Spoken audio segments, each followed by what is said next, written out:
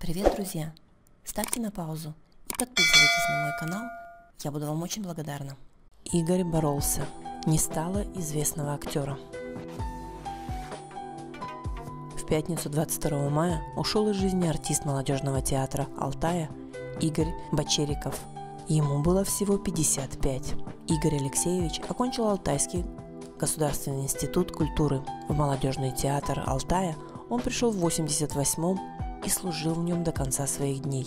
Коллеги вспоминают, что вне сцены Игорь Бочериков был добрейшей души человеком, мягким, отзывчивым, готовым прийти на помощь и дать совет. Его верность профессии, театру заражали коллег, служили примером молодым артистам. Молодежный театр Алтая понес страшную утрату.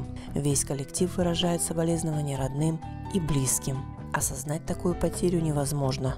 Трудно представить театр без него.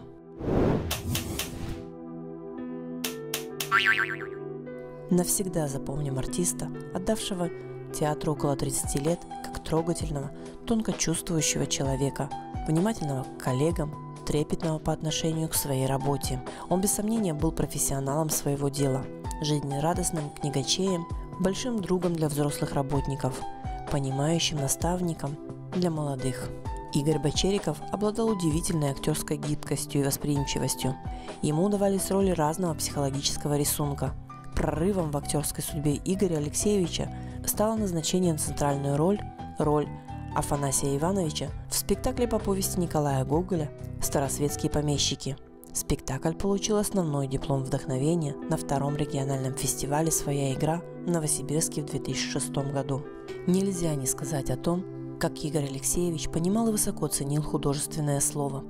Он самостоятельно создавал чтецкие программы по произведениям Василия Шукшина и Владимира Набокова. Искренние и глубокие соболезнования, светлая и вечная память.